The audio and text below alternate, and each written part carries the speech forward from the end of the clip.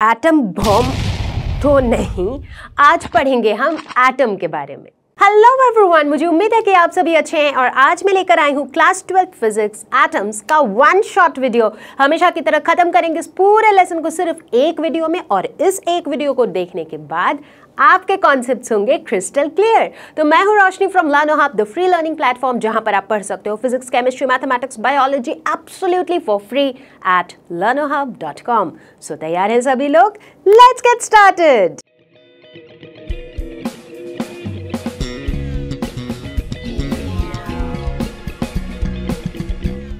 Atom क्या होता है? मैटर का वो बेसिक यूनिट जिसमें होता है सेंटर में एक डेंस सेंट्रल न्यूक्लियस और इस न्यूक्लियस के चारों तरफ़ होता है एक cloud cloud cloud of negatively charge electrons yes तो अगर आपको एक आइडिया लेना हो कि यार एटम के अंदर जो न्यूक्लियस होता है वो कितना बड़ा होता है एटम के कंपैरिजन में तो look at this example let us suppose कि अगर आपका न्यूक्लियस एक क्रिकेट बॉल के साइज़ का है क्रिकेट बॉल का साइज़ लगभग इतना होता है राइट तो अगर आपका न्यूक्लियस लगभग इस साइज़ का है तो पता है आपका एटम कितना बड़ा होगा? तो एटम एक उतना बड़ा स्फेयर होगा जिसका radius up to five kilometre होगा। फाइव किलोमीटर, समझ रहे हो? It's like lot of distance तो एक फाइव किलोमीटर रेडियस लेते हुए अगर एक बड़ा सा स्फीयर बनाओगे तो उसके बीच में अगर एक छोटू सा, एकदम छोटू सा क्रिकेट बॉल रख दोगे तो उतना ही बड़ा होता है एक न्यूक्लियस एक एटम के अंदर। मैं ये नहीं कह रही हूँ कि एटम जो है, वो पाँच किलोमीटर के रेडियस का एक स्फेयर होता है। हम सभी को पता है कि एटम अपने आप में ही एक बहुत छोटा सा पार्टिकल है। बट एटम के कंपैरिजन में जो न्यूक्लियस है, वो बहुत ही छोटा होता है। तो चलो फटाफट से एक नज़र डालते हैं एटम के हिस्ट्री पे।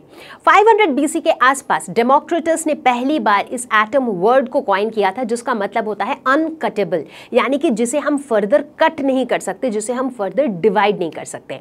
1805 के आसपास डाल्टन ने प्रपोज किया डाल्टन एटॉमिक थ्योरी उसके कुछ सालों के बाद अराउंड 1897 थॉमसन ने डिस्कवर किया electron and that was really a big discovery 1909 में रदरफोर्ड ने परफॉर्म किया the famous gold foil experiment और इस तरीके से उन्होंने अपना एक नया मॉडल ऑफ़ एटम प्रपोज किया।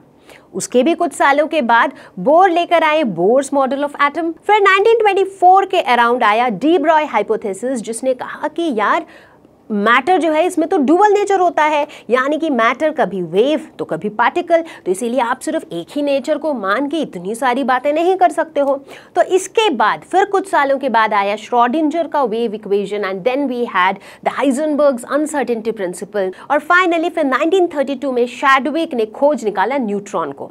तो इसी तरीके से कई सालों तक चलती रही एटम के ऊपर स्टडी तो आज इस वीडियो के अंदर हम मेजरली डिस्कस करने वाले हैं about the structure of atom किस तरीके से शुरुआत में जैसे डाल्टन अपना एटॉमिक स्ट्रक्चर लेकर आए डाल्टन अपना एटॉमिक मॉडल लेकर आए, फिर रदरफोर्ड आए, फिर बोर आए। तो ये वाली जो कहानी है, ये कहानी सुनेंगे हम आज के इस वीडियो में। तो 1808 के आसपास आया डाल्टन एटॉमिक थ्योरी इस थ्योरी ने ये बताया कि मैटर कंसिस्ट करते हैं ऑफ़ इनडिविजिबल एटम्स यानी कि एटम्स जो हैं, ये इंडिविजिबल होते हैं, इनको हम फर्दर डिवाइड नहीं कर सकते हैं।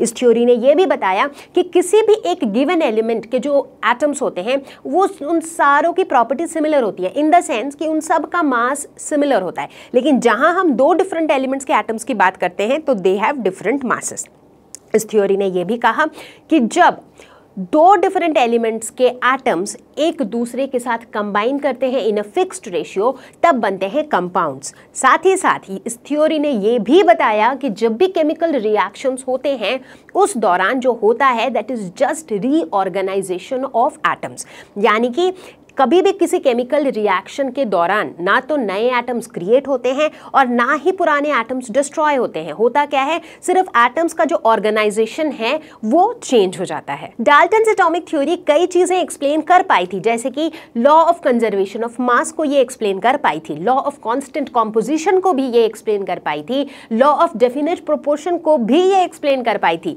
लेकिन इसमें एक मेजर लिमिटेशन भी रह गई थी। जैसे कि ये जो थ्योरी थी, इस थ्योरी ने बोला था कि यार जो एटम्स हैं, वो इनडिविजिबल है। यानी कि इनको हम फर्दर डिवाइड नहीं कर सकते हैं which turn out to be wrong क्योंकि हमने देखा, आने वाले समय में सब एटॉमिक पार्टिकल्स डिस्कवर हो चुके थे। यानी कि एटम्स के अंदर भी बहुत सारे पार्टिकल्स थे। जैसे कि हम सभी को पता ही है कि प्रोटॉन इलेक्ट्रॉन न्यूट्रॉन ये सारे क्या है? ये सब एटॉमिक पार्टिकल्स हैं। तो यानी कि ये कहना गलत था कि एटम्स को हम फर्दर डिवाइड नहीं कर सकते हैं। एटम के स्ट्रक्चर को एक्सप्लेन करने के लिए कई सारे मॉडल्स प्रपोज होते रहे। मॉडल्स मतलब मॉडलिंग करने वाले मॉडल नहीं एटम का मॉडल कि एटम का स्ट्रक्चर कैसा है राइट right? तो ऐसा ही एक मॉडल प्रपोज किया था थॉमसन ने थॉमसन मॉडल ऑफ़ एटम जिसके कुछ लिमिटेशंस थे, जिसकी वजह से उसके बाद आया Rutherford's nuclear model of atom उसके लिमिटेशंस को ओवरकम करने के लिए आया Bohr's model of atom and finally उसके बाद आया quantum mechanical model of atom तो आज इस वीडियो के अंदर ये शुरू के तीनों के तीनों जो मॉडल्स हैं, हम उनके बारे में डिस्कस करेंगे। हम देखेंगे कि उन मॉडल्स के पॉस्टुलेट्स क्या थे, वो मॉडल क्या कहते थे और उनकी लिमिटेशंस क्या थी। तो आया इसके बाद Thomson model of atom Thomson ने बताया कि भाई एटम जो है, ये स्फेरिकल शेप का है, जिसके अंदर पॉजिटिव चार्ज यूनिफॉर्मली डिस्ट्रीब्यूटेड है।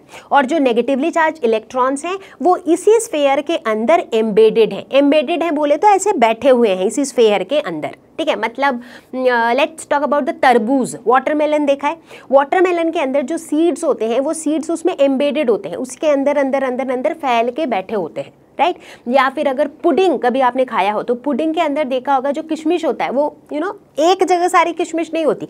किशमिश पुडिंग के अंदर थ्रू आउट ऐसे ऐसे एम्बेडेड होता है राइट?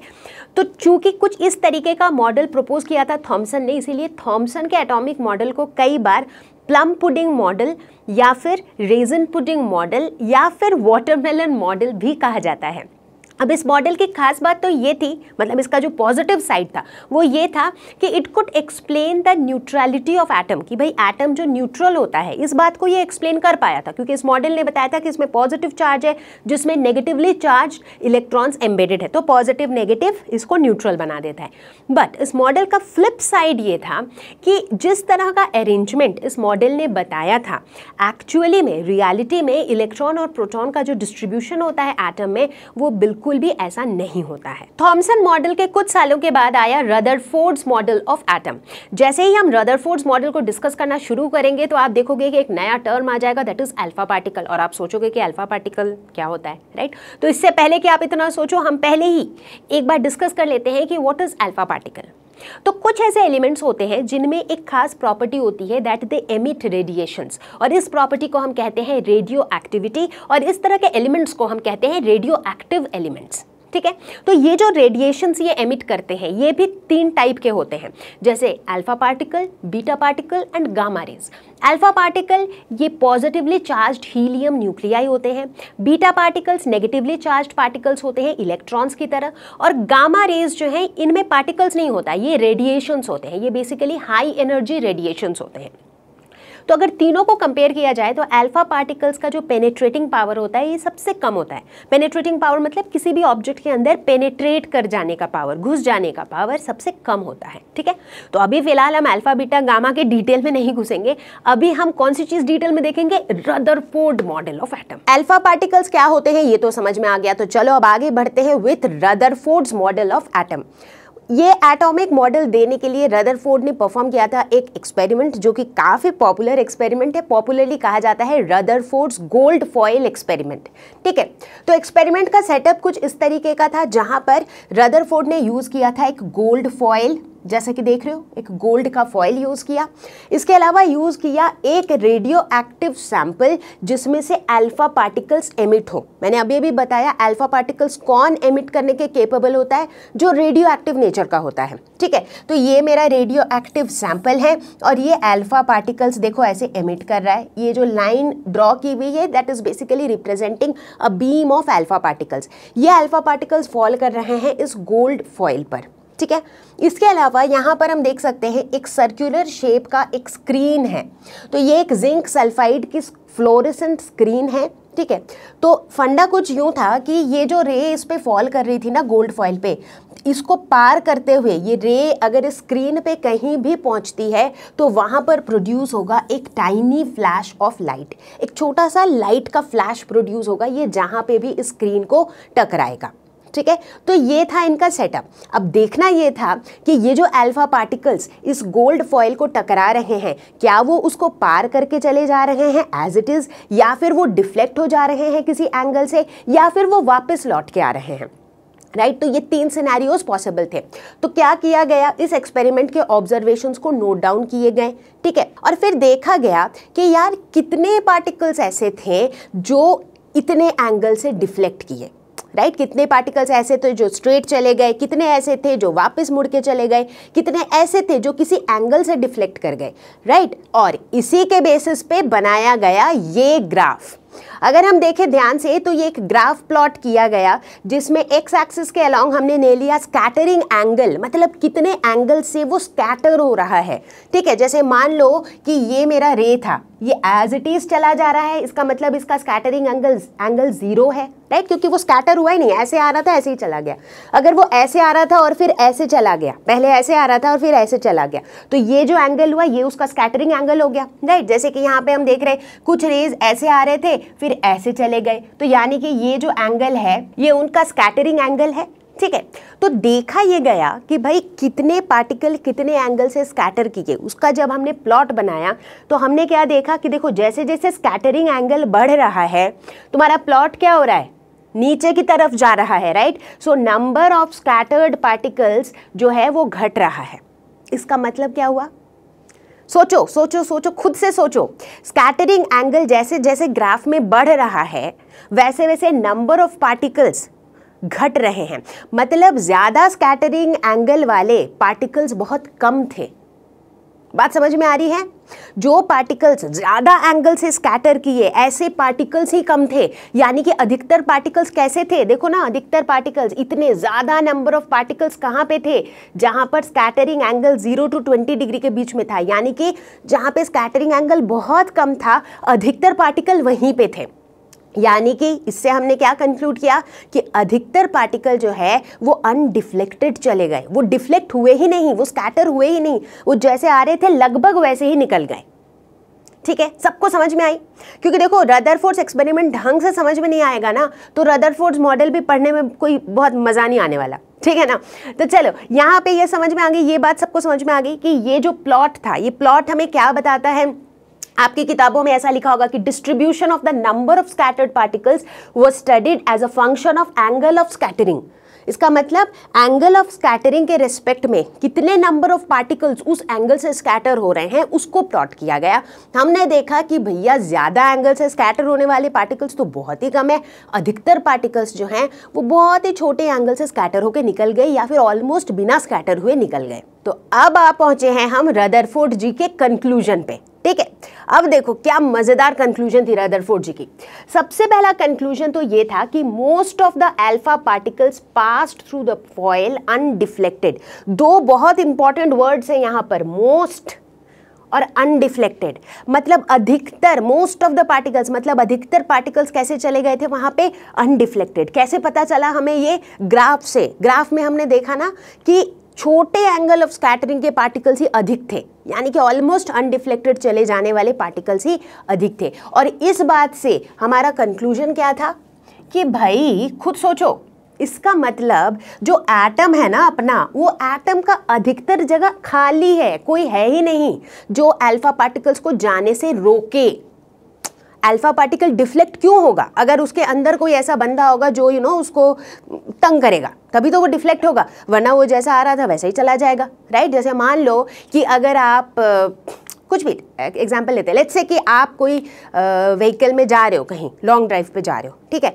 अब मान लो कि रास्ते में बहुत जगह अगर आपको ट्रैफ़िक जैम मिलेगा राइट मान लो कहीं पे कोई फ़ंक्शन चल रहा है, बीच में रैली निकल आई तो क्या होगा? आप फंस जाओगे, आप स्मूथली नहीं जा पाओगे। हो सकता है आपको शॉर्टकट लेके दूसरे रास्ते से जाना पड़े राइट right? तो उसका मतलब आप अपने रास्ते से डिफ्लेक्ट हो जाओगे। कब डिफ्लेक्ट हो जाओगे? अगर आप कोई ऐसा रिपल्शन एक्सपीरियंस करोगे, जहाँ से लोग आपको पीछे की तरफ़ भगा रहे हैं राइट right?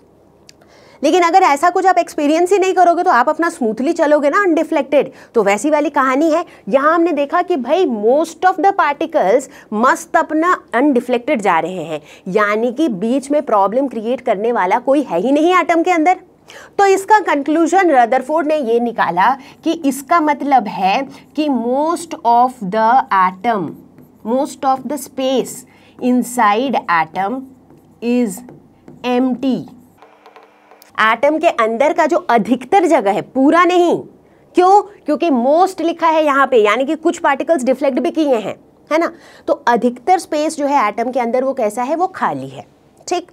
उसके बाद जो इनका सेकेंड कंक्लूजन था a few positively charged alpha particles were deflected a few थोड़े बहुत अल्फ़ा पार्टिकल्स क्या हुए थे? डिफ्लेक्ट हो गए थे। कैसे डिफ्लेक्ट हो गए थे? जैसे देखो, अब इस पिक्चर को देखो।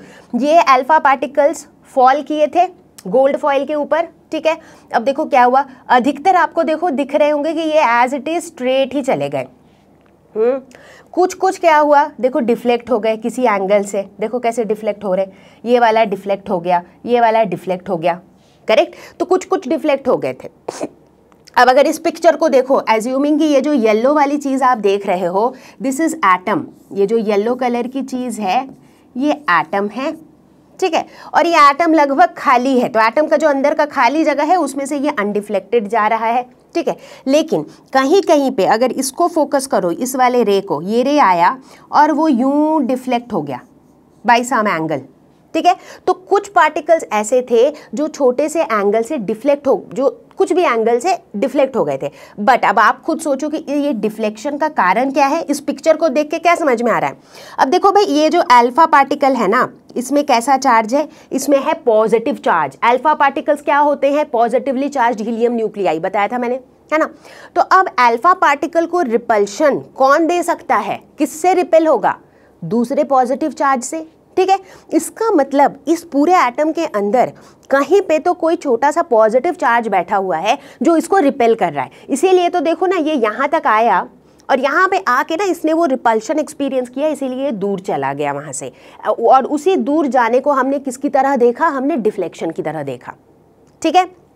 तो ये जो बीच में बैठा हुआ है, एक छोटा सा पॉजिटिव चार्ज्ड थिंग इसी को हम क्या कहते हैं? इसी को हम कहते हैं न्यूक्लियस ठीक है? तो इसे हम क्या कहते हैं? इसे हम कहते हैं न्यूक्लियस। ठीक है? तो हमारा जो सेकंड वाला पॉइंट था, इस सेकंड वाले पॉइंट से हमने क्या कंक्लूड किया? हमने ये कंक्लूड किया कि ये जो न्यूक्लियस है ना हमारा, ये न्यूक्लियस पॉजिटिवली चार्ज्ड है। ठीक है? इसीलिए वो पॉजिटिवली चार्ज अल्फ़ा पार्टिकल्स को रिपेल करा के डिफ्लेक्ट करा रहा है।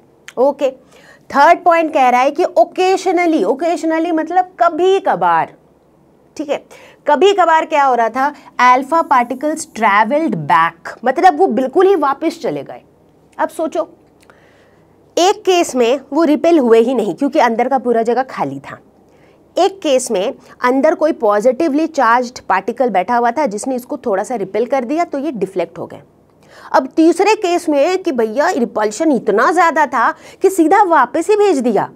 समझ रहे हो? मतलब लेट्स से आप वही गाड़ी लेके जा रहे हो लॉन्ग ड्राइव पे, बीच में एक जगह इतना बड़ा फ़ंक्शन हो रहा था रोड के बीच में, या इतनी इतनी ज़्यादा बड़ी रैली निकली थी कि मतलब आपके पास डिफ्लेक्ट होके कोई शॉर्टकट लेके जाने का भी ऑप्शन नहीं बचा तो आप सीधा वहाँ से अपने घर वापस आ गए। ऐसा कब होगा? जब वो रैली इतनी ज़्यादा स्ट्रॉन्ग रैली होगी, इतना ही गंदा ट्रैफ़िक होगा, तभी आप वापस घर आओगे राइट तो इसका क्या मतलब है? इसका मतलब ये कि ऐसा तभी पॉसिबल है जब ये जो पॉजिटिवली चार्ज पार्टिकल है ना, जो रिपेल करवा रहा है, वो पॉजिटिव चार्ज का मास भी बहुत ज़्यादा है। मतलब वो भारी भरकम चीज़ है भाई पावरफुल चीज़ है। Right right? तो इससे क्या पता चला हमें? तो इस थर्ड कंक्लूजन से हमें पता चला कि एटम के अंदर का जो अधिकतर मास है that is concentrated in the nucleus देखो I mean this is so interesting right कि मतलब साइंटिस्ट जो हैं, इस तरीके से एक एक छोटे छोटे पॉइंट को कंक्लूड करते थे बेस्ड ऑन देयर एक्सपेरिमेंट्स है ना? तो तीसरे पॉइंट से इन्होंने बोला कि most of the atom's mass is concentrated in nucleus ठीक है? तो कुछ कुछ बातें पता चलने लगी भाई आटम के स्ट्रक्चर के बारे में। ओके इसके बाद अब रदरफोर्ड जी सिर्फ़ एक्सपेरिमेंट के ऑब्जर्वेशन को देखकर बैठे तो थे नहीं तो वो भी अपना कैलकुलेशंस किए जा रहे थे, है ना? तो उन्होंने क्या दिखाया अपने कैलकुलेशन से कि जो volume occupied by the nucleus होता है that is negligibly small as compare to the total volume of the atom याद है, इस वीडियो को शुरू करने के टाइम पर मैंने एक कंपैरिजन दिया था कि अगर आपका जो न्यूक्लियस है वो अगर एक क्रिकेट बॉल के साइज़ का है तो आपका जो एटम होगा, वो एक पाँच किलोमीटर रेडियस के स्फीयर जितना होगा। तो एज्यूम करो तो आप खुद सोच के देखो कि न्यूक्लियस एटम के साइज़ के मुकाबले कितना छोटा होता है। तो exactly that is what Rutherford also said कि भाई एटम का रेडियस अगर 10 to the power minus ten के ऑर्डर में है तो न्यूक्लियस का जो रेडियस है that is of the order of 10 to the power minus fifteen अब भाई 15 बड़ा है डजेंट मैटर माइनस फिफ्टीन है।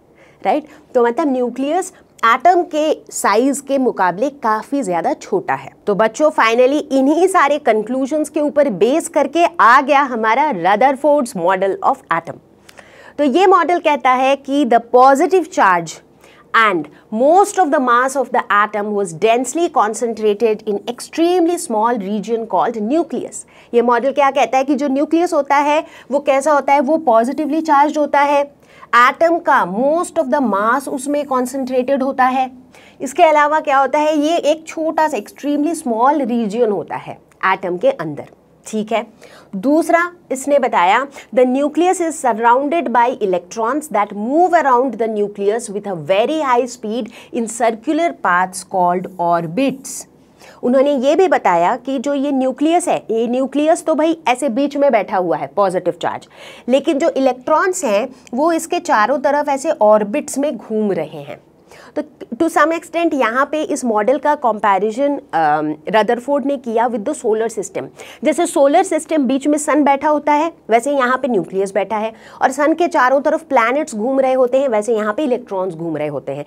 ऐसा रदरफोर्ड ने बताया. तीसरा पॉइंट ये बताया कि electrons and the nucleus are held together by electrostatic forces of attraction Rutherford ji का ये मानना था कि इलेक्ट्रॉन्स चूँकि नेगेटिवली चार्ज है न्यूक्लियस पॉजिटिवली चार्ज है तो इनके बीच का जो इलेक्ट्रोस्टैटिक फोर्स ऑफ़ अट्रैक्शन है अट्रैक्शन ही होगा ना ऑपोजिट चार्जेस अट्रैक्ट तो इस अट्रैक्टिव फोर्सेस की वजह से ही ये अपनी अपनी जगह पर बैठे हुए थे. नॉट एग्जैक्टली exactly बैठे हुए थे बट अपनी अपनी जगह पर थे. ऐसा नहीं कि एक दूसरे पे गिर रहे थे या फिर इंस्टेबिलिटी थी. ठीक है? तो ये जो चीज़ बातें हैं, ये रदरफोर्ड जी का मानना था, इसीलिए this is part of the Rutherford's model of atom तो चलो बच्चों, अब देखते हैं कि रदरफोर्ड्स मॉडल ऑफ़ एटम के अकॉर्डिंग इलेक्ट्रॉन ऑर्बिट्स के बारे में उन्होंने क्या बताया था। तो इसे हम देखेंगे पूरी तरह से मैथमेटिकली तो रदरफोर्ड ने बोला था कि भाई एटम के अंदर सेंटर पे होता है एक पॉजिटिवली चार्ज न्यूक्लियस और इस न्यूक्लियस के चारों तरफ़ नेगेटिवली चार्ज इलेक्ट्रॉन जो है, वो ऐसे सर्कुलर ऑर्बिट्स में मूव करता है।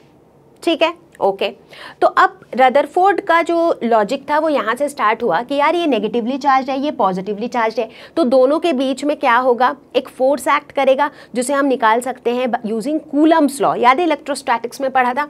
तो कूलम्स लॉ क्या कहता है कि force between these two charges will be one by four pi epsilon naught Q1 one into Q अब इसके ऊपर चार्ज कितना होगा? न्यूक्लियस के ऊपर.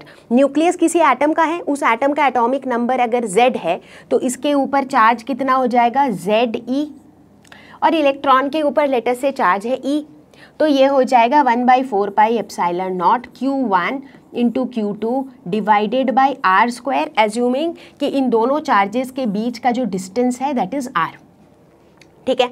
अब चूँकि ये इलेक्ट्रॉन जो है, ये सर्कुलर ऑर्बिट में मूव कर रहा है तो एक सेंट्रीपिटल फोर्स भी एक्ट करेगा and that centripetal force should be equal to this force और centripetal force is M V square by R ठीक है? बिल्कुल ठीक है। तो इसे अगर हम थोड़ा सा फर्दर सिंप्लीफाई करें तो हम लिख सकते हैं Z E square divided by four pi epsilon naught R क्योंकि इधर का एक आर और एक आर कैंसिल हो जाएगा। This is equal to M V square इसे हम फर्दर क्या लिख सकते हैं? फॉर आर आर के एक्सप्रेशन के लिए हम लिख सकते हैं Z E square divided by four pi epsilon naught M V square और ये आर क्या शो करता है? Radius of the electron orbit ठीक उसी तरीके से, इस एक्सप्रेशन से हम v के लिए भी कुछ लिख सकते हैं। V स्क्वायर को भी हम r के टर्म्स में लिख सकते हैं, बिल्कुल लिख सकते हैं। तो v स्क्वायर को हम क्या लिख सकते हैं? Z E square divided by four pi epsilon naught R M तो यहाँ पर जो ये v है this v is the velocity of the electron ठीक है? तो हमने इलेक्ट्रॉन जो इन ऑर्बिट्स में मूव कर रहे हैं, उनका रेडियस और वेलोसिटी तो निकाल लिया, ठीक है? यूजिंग दीज अब हम कैलकुलेट कर सकते हैं इनके एनर्जीज तो सबसे पहले बात करेंगे काइनेटिक एनर्जी की। काइनेटिक एनर्जी क्या होता है, हम सभी को पता है this is half M V square ठीक है? अभी अभी हमने वी स्क्वायर के लिए ये एक्सप्रेशन लिखा है, जिसको हम वहाँ रिप्लेस कर देंगे। तो ये क्या हो जाएगा? ये हो जाएगा half M Z E square divided by four pi epsilon naught R M तो ये m और m कैंसिल हो जाएगा। So this will be equal to Z E square divided by eight pi epsilon naught R तो ये हो जाएगा kinetic energy ठीक इसी तरीके से हम पोटेंशियल एनर्जी भी कैलकुलेट कर सकते हैं। इलेक्ट्रोस्टैटिक पोटेंशियल एनर्जी क्या होता है? K Q one Q two by R जहाँ पे के होता है one by four pi epsilon naught तो चलो लिखते हैं one by four pi epsilon naught. Q one is plus Z E, nucleus का charge. Q two is minus E, electron का चार्ज डिवाइडेड बाई आर। तो इसको आर के terms में ही रखेंगे, ये हो जाएगा minus Z E square divided by four pi epsilon naught R. अब यहाँ पे हम नोटिस करते हैं कि potential energy is coming out to be negative which means कि जो फोर्स है that is along the minus R direction ठीक है ना? अच्छा काइनेटिक एनर्जी की वैल्यू निकाल ली हमने पोटेंशियल एनर्जी की वैल्यू निकाल ली हमने। तो क्या हम टोटल एनर्जी निकाल सकते हैं? बिल्कुल निकाल सकते हैं, क्योंकि टोटल एनर्जी क्या होता है? Kinetic energy plus potential energy तो दोनों को ऐड कर देते हैं। तो अगर हम दोनों को ऐड कर देते हैं तो ये हमारी टोटल एनर्जी की वैल्यू निकलती है और उसके भी पहले एक नेगेटिव साइन है। टोटल एनर्जी नेगेटिव है। ये ये शो करता है कि जो इलेक्ट्रॉन है, वो न्यूक्लियस से बाउंड है। राइट? right? अगर टोटल एनर्जी पॉजिटिव होता तो न्यूक्लियस के अराउंड इलेक्ट्रॉन जो है वो बाउंड नहीं होता to move in the circular orbit ठीक है? तो कुल मिला के बच्चों, अगर जो एनर्जी की वैल्यूज़ हमने निकाली काइनेटिक एनर्जी पोटेंशियल एनर्जी और टोटल एनर्जी इनको अगर हम कंपेयर करें तो हमें क्या देखने को मिलेगा? कि काइनेटिक एनर्जी की जो वैल्यू है that is negative of the total energy ठीक, उसी तरीके से पोटेंशियल एनर्जी की जो वैल्यू है, अगर ध्यान से देखो सो पोटेंशियल एनर्जी की जो वैल्यू है that is what that is two times of the total energy तो इस तरीके से हमें एनर्जीज के बीच में कुछ रिलेशनशिप्स भी मिले and this is how Rutherford's model ने इलेक्ट्रॉन ऑर्बिट्स के बारे में मैथमेटिकली बताया। अब रदरफोर्ड्स का एटॉमिक मॉडल था तो बहुत ही बढ़िया बट इसके अंदर भी कुछ लिमिटेशंस रह गई थी। जैसे सबसे पहला लिमिटेशन तो ये था कि ये model could not explain the stability of atom right अब रदरफोर्ड ने अपने मॉडल में बता तो दिया कि भाई इलेक्ट्रॉन इस तरीके से ऑर्बिट्स में मूव करेंगे न्यूक्लियस के चारों तरफ़, ठीक है? बट हमने मैक्सवेल के इलेक्ट्रोमैग्नेटिक थ्योरी में क्या पढ़ा था? कोई भी चार्ज पार्टिकल को अगर एक्सेलरेट कर दिया जाए तो क्या होगा? वो इलेक्ट्रोमैग्नेटिक रेडिएशन एमिट करेगा, ठीक है? अब इलेक्ट्रॉन क्या है? एक चार्ज पार्टिकल है। अगर इलेक्ट्रॉन यूँ ऑर्बिट्स में घूम रहा है तो क्या होगा? ये भी रेडिएशन एमिट करना चाहिए। अगर ये रेडिएशन एमिट करेगा तो क्या होगा? इसका जो रेडियस है वो धीरे धीरे धीरे धीरे कम होता जाएगा। मतलब इसका कैसा टाइप का पाथ हो जाएगा? एक स्पाइरल पाथ हो जाएगा। यानी कि यूँ शुरू किया होगा घूमना, धीरे धीरे धीरे धीरे इसका रेडियस कम होते होते फाइनली कहाँ गिर आएगा? ये गिर जाएगा न्यूक्लियस पे राइट right? तो अगर ये गिर ही जाएगा इलेक्ट्रॉन न्यूक्लियस पे तो क्या वो एटम स्टेबल होगा? नहीं होगा। बट क्या ऐसा होता है सच में? ऐसा नहीं होता है। इसका मतलब कहीं ना कहीं रदरफोर्ड के मॉडल में कुछ तो गड़बड़ था। इतना ही नहीं। रदरफोर्ड का जो मॉडल था it does not talk about the electronic structure of atoms मतलब एटम के अंदर जो इलेक्ट्रॉन्स हैं, उनका रिलेटिव एनर्जीज कितना है? उनके पोजीशंस क्या हैं? इसके बारे में डिटेल में रदरफोर्ड का मॉडल डिस्कस नहीं करता है। रदरफोर्ड का model does not explain the dual nature of matter हमने अभी अपने पिछले वीडियो में ही हमने पढ़ा था राइट कि मैटर डबल रोल प्ले करता है कभी पार्टिकल तो कभी वेव बट रदरफोर्ड का जो ये मॉडल था, ये वेव नेचर के बारे में कोई बात नहीं करता है. इतना ही नहीं last but not the least atomic spectral emission lines के बारे में भी रदरफोर्ड का मॉडल कुछ बता नहीं पाता है. अब आप पूछोगे कि मैम ये एटॉमिक स्पेक्ट्रल लाइन्स क्या होते हैं? इसको अभी हम करेंगे डिटेल में डिस्कस बट कुल मिला के कहानी कुछ यूँ है कि भाई रदर फोर्ड एटॉमिक मॉडल भी जो है, ये इसके भी कुछ लिमिटेशंस रह गए थे। अब इन लिमिटेशंस को ओवर करने के लिए आया था नेक्स्ट मॉडल जो कि है बोर्ड्स मॉडल ऑफ़ एटम तो बोर्ड्स का जो एटॉमिक मॉडल था, ये एक्सप्लेन कर पाया था द एटॉमिक स्पेक्ट्रल लाइन्स का कॉन्सेप्ट लेकिन रदरफोर्ड का मॉडल उसे एक्सप्लेन नहीं कर पाया था। तो इससे पहले कि हम बोर्ड्स मॉडल को डिटेल में समझे, सबसे पहले तो ये समझ लेते हैं कि एटॉमिक स्पेक्ट्रा होता क्या है। राइट? तो जब हम स्पेक्ट्रम की बात करते हैं स्पेक्ट्रम ये वर्ड हमने इससे पहले कब सुना है? जब हम प्रिज्म से रिफ्रैक्शन सीख रहे थे right dispersion of light by prism prism से जब आप व्हाइट लाइट पास करते हो तो आपको क्या मिलता है? सात कलर का स्पेक्ट्रम जो रेनबो बैंड है violet indigo blue green yellow orange and red उसका जो मिलता है, जो बैंड ऑफ़ कलर्स है, उसको हम क्या कहते हैं? स्पेक्ट्रम तो यहाँ पर हम कई तरह के स्पेक्ट्रम की बात करेंगे, जैसे कि emission spectrum absorption spectrum continuous spectrum ठीक है? तो स्पेक्ट्रल लाइंस क्या होते हैं? स्पेक्ट्रम के अंदर जो ब्राइट एंड डार्क लाइंस होते हैं, उन लाइंस को हम कहते हैं स्पेक्ट्रल लाइंस और एमिशन एंड एब्जॉर्प्शन स्पेक्ट्रम की जो स्टडी होती है, उस स्टडी को हम कहते हैं स्पेक्ट्रोस्कोपी और इन सारी चीज़ों के बारे में हम बातें कर ही क्यों रहे हैं? क्योंकि स्पेक्ट्रोस्कोपी इन इट्सेल्फ जो है is a very useful branch of science आपको जान के बहुत ही यू नो आश्चर्य होगा कि स्पेक्ट्रोस्कोपिक मेथड्स के हेल्प से, बहुत तरह के स्पेक्ट्रोस्कोपिक मेथड्स होते हैं और उनके हेल्प से हम एलिमेंट्स को आइडेंटिफाई कर सकते हैं। बोलने का मतलब है, हर एलिमेंट का every element has a specific emission spectrum of its own मतलब मतलब जैसे मान लो मैं हूँ, मेरा नाम है रोशनी, ठीक है? बट रोशनी नाम सिर्फ़ मेरा नहीं है, रोशनी नाम किसी का भी हो सकता है। करेक्ट और भी बहुत सारे लोग होंगे जिनका नाम रोशनी है। तो इसका मतलब रोशनी जो नाम है that is not unique to me so name is not unique to a human being लेकिन जो मेरा फिंगरप्रिंट है that is unique to me right right? तो मेरे फिंगरप्रिंट से ये कंफर्म हो सकता है कि भाई ये फिंगरप्रिंट सिर्फ़ मेरा है और किसी का नहीं है। Right right? तो इन a similar way her element का एक स्पेसिफिक एमिशन स्पेक्ट्रम होता है। तो अगर एक गिवन मटेरियल है हमारे पास, उसके स्पेक्ट्रल लाइंस की स्टडी के हेल्प से हम ये आइडेंटिफाई कर सकते हैं कि वो कौन सा एलिमेंट है।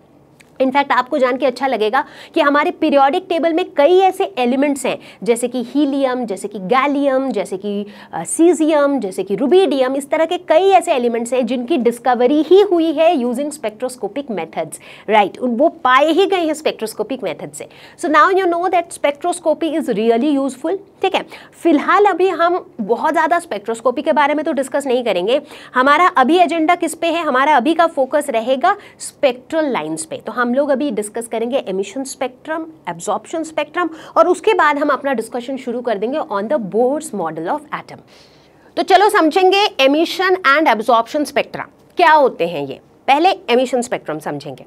लेट सपोज़ हमारे पास एक सब्सटेंस है। उस सब्सटेंस को हमने एनर्जी प्रोवाइड किया। ठीक है?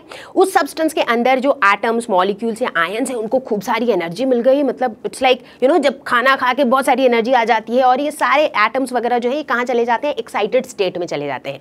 अब जैसा कि हम सबको पता है कि भैया एक्साइटेड स्टेट जो है ना, ये स्टेबल कभी नहीं होता है। तो क्या होता है? अब एक बार के लिए तो चले गए हैं, ज़्यादा एनर्जी आ गई थी।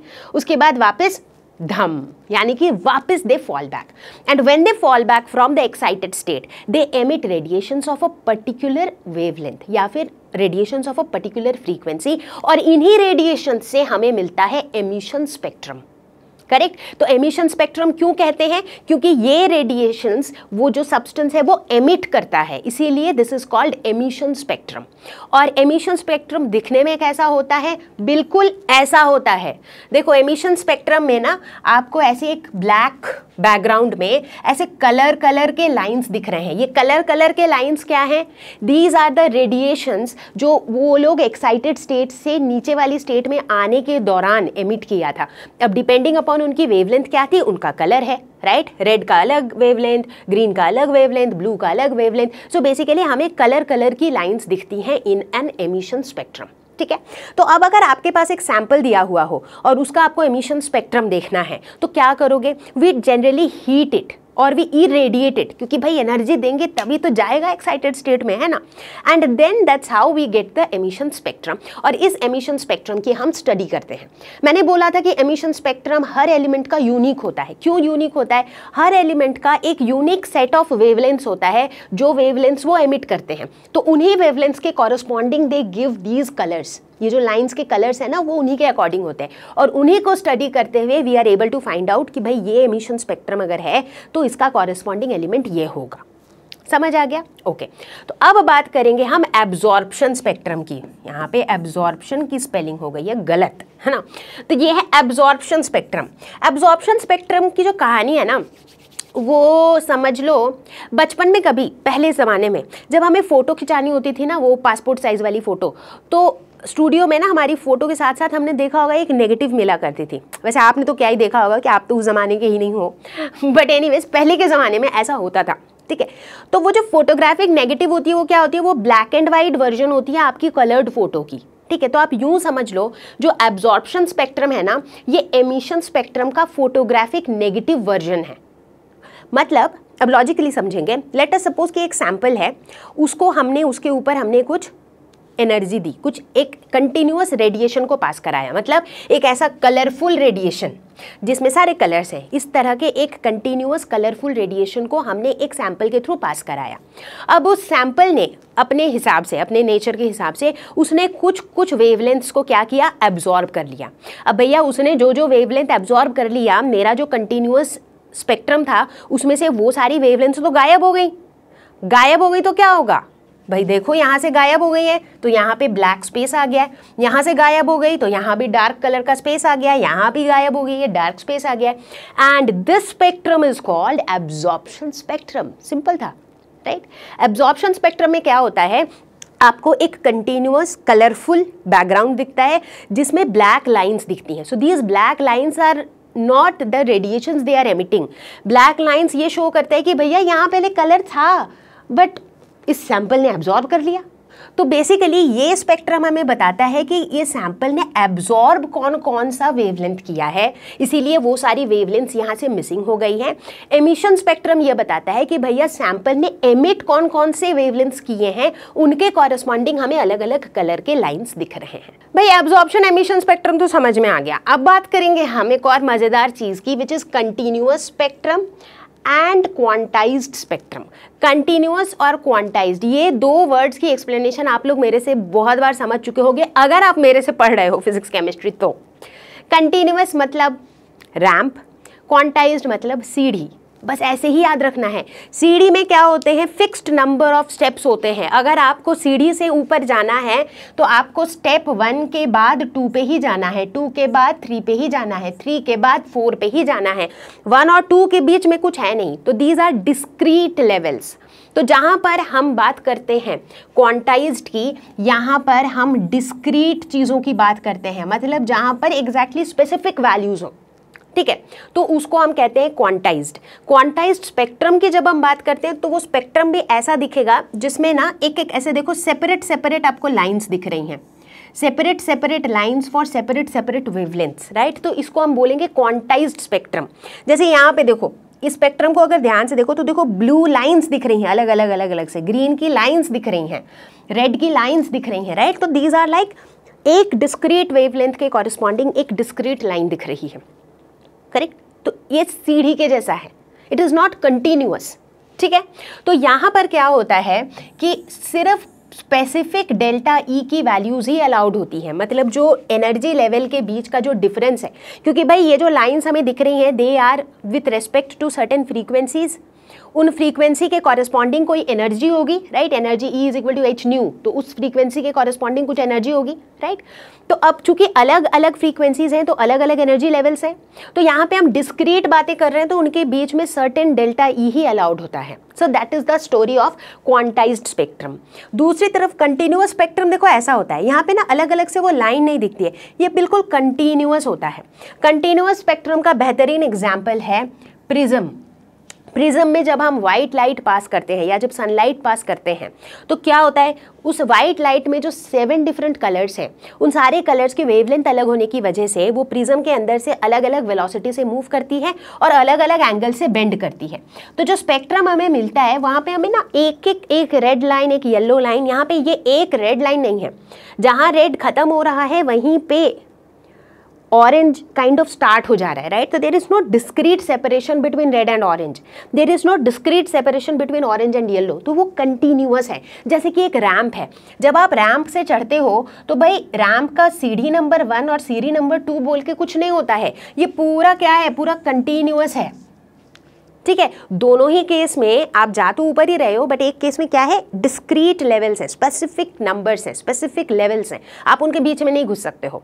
और दूसरे केस में इट इज़ ऑल कंटिन्यूस तो कुछ वैसा ही होता है कंटिन्यूस स्पेक्ट्रम और क्वांटाइज्ड स्पेक्ट्रम की कहानी। तो अभी फ़िलहाल, जब हम आगे चल के बोहर्स मॉडल ऑफ़ एटम की बात करेंगे तो वहाँ पे हम जिस तरह के स्पेक्ट्रम की बात करेंगे they will be in the category of quantized spectrum तो बच्चों, दो ऐसी मेजर डेवलपमेंट्स थी जिसकी वजह से ही सीन में बोहर्स मॉडल ऑफ़ एटम आया यस yes. तो एक ऐसा डेवलपमेंट था डुअल नेचर ऑफ़ रेडिएशन ये कॉन्सेप्ट आ गया था बाय दैट टाइम कि जो रेडिएशन होता है, जो मैटर होता है, इसमें डुअल नेचर होता है। मतलब they behave like particle they behave like wave दोनों नेचर होता है इनमें। इनफैक्ट हमने खुद देखा कि कई सारे ऐसे फेनोमिनन थे, जैसे कि फ़ोटो इलेक्ट्रिक इफ़ेक्ट जो पार्टिकल नेचर को सपोर्ट करते थे। कई ऐसे फेनोमिनन थे, जैसे कि इंटरफेरेंस डिफ्रैक्शन जो वेव नेचर को सपोर्ट करते थे। राइट सो कुल मिलाकर dual nature was kind of established दूसरा जो डेवलपमेंट था that was the experimental observation of the atomic spectra ठीक है? तो इन दोनों डेवलपमेंट्स की वजह से ही ये जो बोर्स मॉडल ऑफ़ एटम आया, ये मॉडल आया। बोर्स मॉडल ऑफ़ एटम की कहानी शुरू करेंगे, देखेंगे कि भाई बोर ने इस पूरे मॉडल को बताने के लिए क्या क्या चीज़ें की थी, है ना? कुछ तो करके ही बताया होगा मॉडल है ना? तो बोर ने यूज़ किया था एमिशन स्पेक्ट्रम ऑफ़ हाइड्रोजन उन्होंने हाइड्रोजन क्योंकि सिंपलेस्ट है, एक ही इलेक्ट्रॉन है हाइड्रोजन के अंदर ज़्यादा कॉम्प्लिकेशन नहीं है।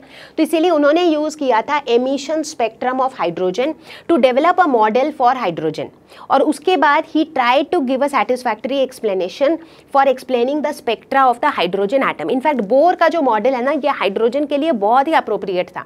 तो इसीलिए हाइड्रोजन का जो स्पेक्ट्रा था हाइड्रोजन की स्पेक्ट्रल लाइन्स को इन्होंने काफ़ी अच्छे से स्टडी किया और उसी के बेसिस पे हाइड्रोजन के एटॉमिक मॉडल को एक्सप्लेन किया। Okay? Bohr postulated that electron moves around the nucleus in circular orbits. Bohr ने भी कहा कि इलेक्ट्रॉन जो है न्यूक्लियस के चारों तरफ़ सर्कुलर ऑर्बिट में ही मूव करता है। उन्होंने इस सर्कुलर ऑर्बिट के रेडियस को भी कैलकुलेट किया। उन्होंने एनर्जी ऑफ़ इलेक्ट्रॉन भी कैलकुलेट किया इन वेरियस ऑर्बिट्स ठीक है? और उन्होंने ये भी प्रेडिक्ट किया कि इलेक्ट्रॉन और न्यूक्लियस के बीच का डिस्टेंस कितना होगा। मतलब इन्होंने आर की वैल्यू भी कैलकुलेट की ई e की वैल्यू भी कैलकुलेट की रेडियस की वैल्यू भी कैलकुलेट की। उन्होंने एक और बहुत इंपॉर्टेंट बात बताई कि only certain orbits can exist and each orbit corresponds to a specific energy और यहीं पे आ जाता है कॉन्सेप्ट क्वांटाइजेशन का। अभी जब हम क्वांटाइज्ड थोड़ी देर पहले क्वांटाइज्ड स्पेक्ट्रम की बात कर रहे थे राइट जिसमें हम कह रहे थे कि सिर्फ़ स्पेसिफिक एनर्जी लेवल्स ही एग्जिस्ट कर सकते हैं। जैसे सिर्फ़ स्पेसिफिक सीढ़ी एग्जिस्ट कर सकते हैं। वन टू थ्री फोर उनके बीच का कुछ एग्जिस्ट नहीं कर सकता है। तो बोर ने भी कहा कि ये जो ऑर्बिट्स हैं ना इलेक्ट्रॉन के सारे ऑर्बिट्स एग्जिस्ट नहीं कर सकते हैं। सिर्फ़ स्पेसिफिक ऑर्बिट्स एग्जिस्ट कर सकते हैं। जैसे अगर बोर ने कहा कि भाई ये मेरा n is equal to one orbit है और ये मेरा n is equal to two orbit है तो भाई वन और टू के बीच में कुछ और एग्जिस्ट नहीं कर सकता है। तो ओनली स्पेसिफिक एनर्जी के ऑर्बिट्स ओनली स्पेसिफिक इलेक्ट्रॉन के ऑर्बिट्स एग्जिस्ट कर सकते हैं और हर एक ऑर्बिट का अपना एक कॉरेस्पॉन्डिंग एनर्जी का वैल्यू होगा। ठीक है? तो इस तरीके से इलेक्ट्रॉन एनर्जी क्वांटाइज्ड है। इस वाले कॉन्सेप्ट पे एम्फोसाइज किया बोहोर मॉडल ऑफ़ एटम ने। तो बच्चों, यहाँ से शुरू होती है कहानी हाइड्रोजन स्पेक्ट्रम की।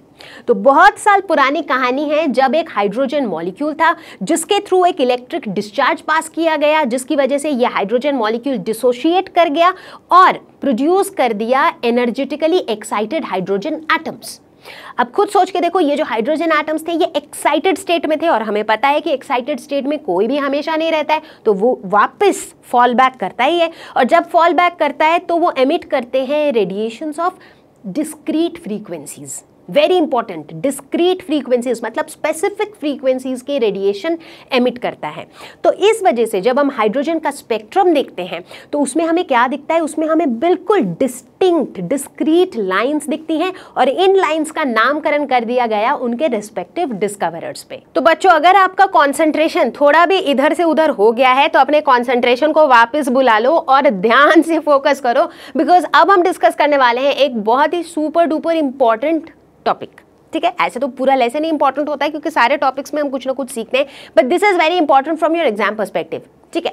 तो देखो, ये जो हाइड्रोजन की स्पेक्ट्रम की हम बात कर रहे हैं, यहाँ पर एक साइंटिस्ट आए पिक्चर में, जिनका नाम था रिडबर्ग जोहान्स रिडबर्ग इन्होंने नोटिस किया कि हाइड्रोजन स्पेक्ट्रम के जो लाइंस है ना, वो सारे लाइंस क्या हैं? वो लाइंस हैं क्या बेसिकली वो lines are basically radiation corresponding to a particular frequency या वेवलेंथ राइट अब जहाँ रेडिएशन है तो उनका एक कॉरेस्पॉन्डिंग वेवलेंथ या फ्रीक्वेंसी होगा।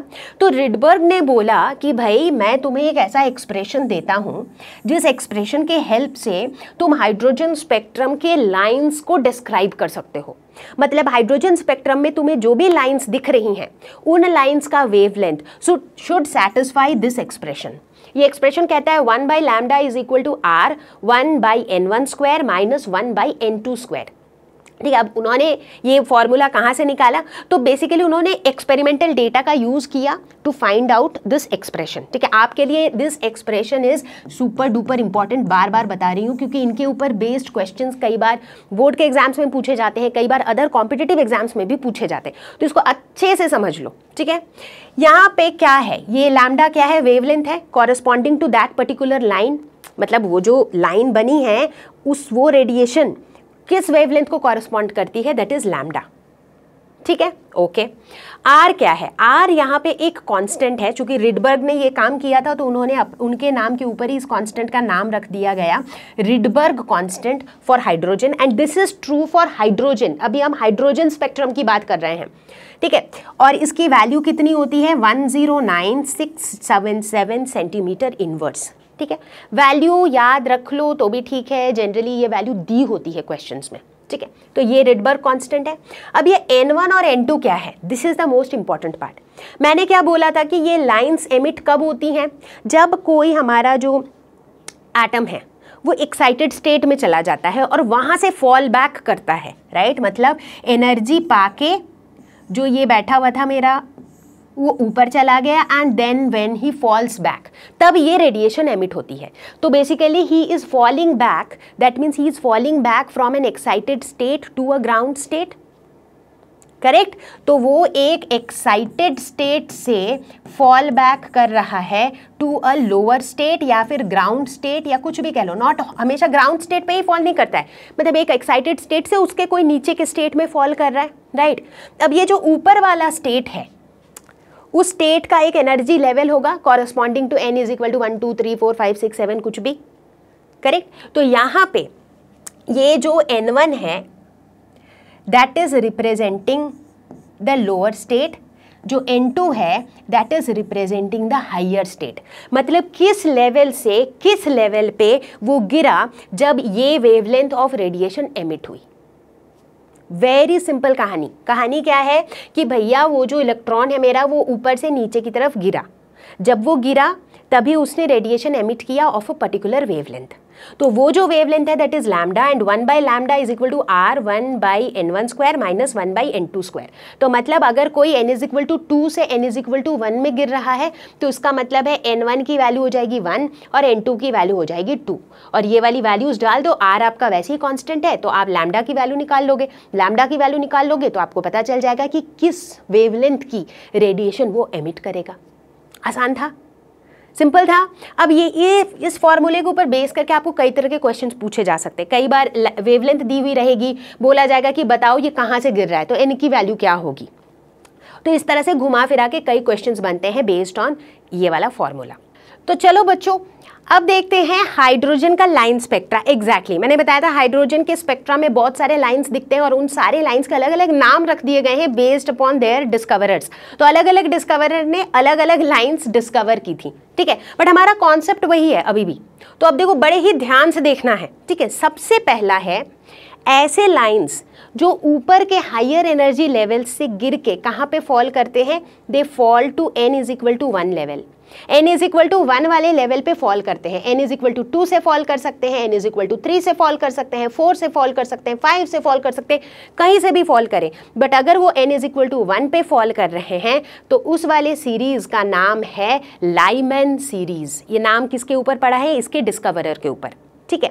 और ये जो लाइमन सीरीज़ है लाइमन सीरीज़ के लिए आपको अब समझ में आ गया एन वन और एन टू की वैल्यू क्या होगी? देखो, अगर लाइमन सीरीज़ है तो एन वन की वैल्यू हमेशा वन होगी। एन टू की वैल्यू वन के ऊपर का कोई भी वैल्यू हो सकता है। Two three four five six seven कुछ भी हो सकता है। ठीक है?